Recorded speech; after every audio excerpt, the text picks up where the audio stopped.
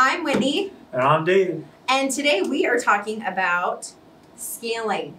Scaling. We're not talking about climbing mountains. Not talking about climbing mountains. No, we're not talking about alligators no, or snakes. or snakes.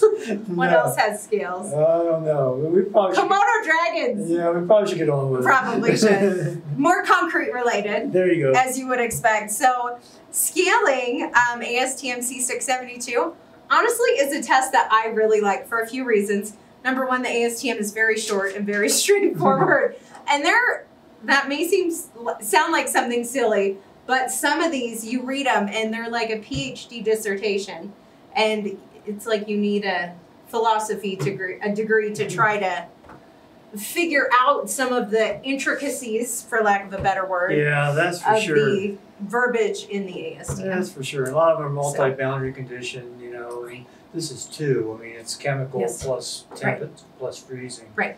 So yeah, Whitney just gave me a quick upbrief of this, uh, just to remind me what exactly this test is. We don't run it super often, Well, I, yeah, and I, I usually don't see it. I see but the final right, he sees the results. It's a very But- straightforward test, though. But it is. I guess having heard the description, what I could love about it is it's it's very Colorado. It's very Colorado. It's very Colorado. You have a piece of what could be a pavement. right, You put some chemical salts on it. right. Calcium chloride mixed with water, so not anything too caustic. Yeah, just much like you would put on a driveway or a highway or whatever. Right. You stick it in, you freeze it. Freeze it for 16 to 18 hours. Yeah, just like Thaw it for six to eight hours. yeah, just like a daily cycle. Right. Just like a cold night Right. and then sunshine and right, cold night and then sunshine. Right. And then you take a look at it and see how your driveway, excuse me, how your sample's right, do- right. doing. Yeah, and you just you the scales for me, I feel like there's a little things are up for, a little bit up for interpretation, although they do a decent job like no scaling is a rating of 0, slight scaling and it gives you a depth.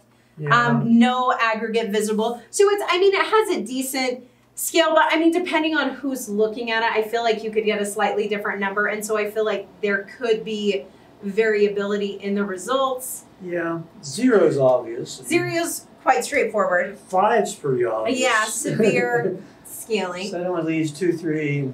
But then one, that's two, three, still four, that's yeah. still a lot of numbers though to you know and granted, I mean you would assume someone is if it's a two, maybe someone could see it as a three or maybe it's a two and a half. I that being said though, I mean I feel like this is one of the more real world ASTMs out Yeah. there. A lot of them not a lot. Some of them just I feel like are not mimicking field conditions as well as others. And this one I feel like, like you said, is very Colorado. Like does a great job of what a freeze thaw cycle. Like the six six six. The samples don't even really thaw.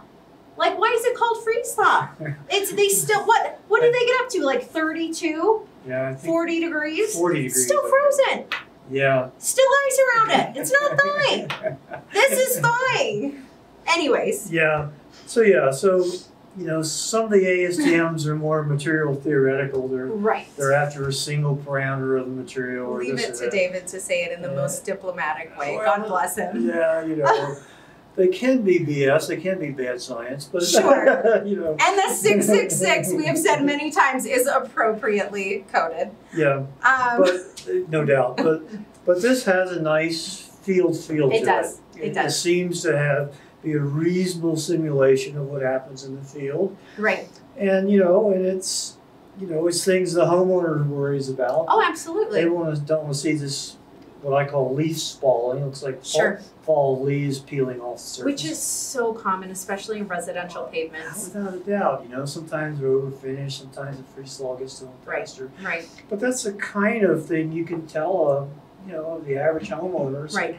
You know, moderate scaling means this Right. and heavy this and Right. and that. So it's a nice could be a nice layperson's test. It's for sure I think a nice field representation. Oh, absolutely. And you don't need complicated equipment. You need like a chest freezer, a couple of buckets to put the concrete in, and calcium chloride, which you can order on Amazon.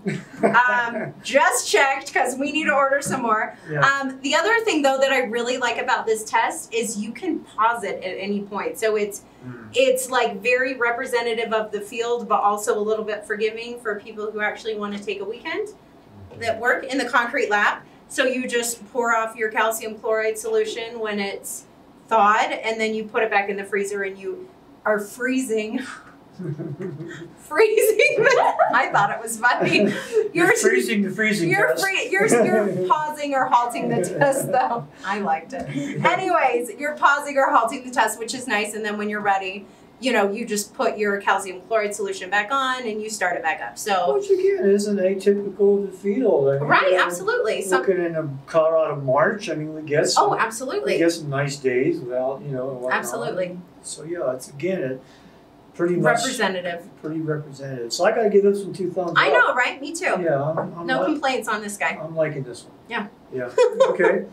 All right, thank you so much for joining. Um, like, subscribe, ding that bell for notifications. Go concrete. yes,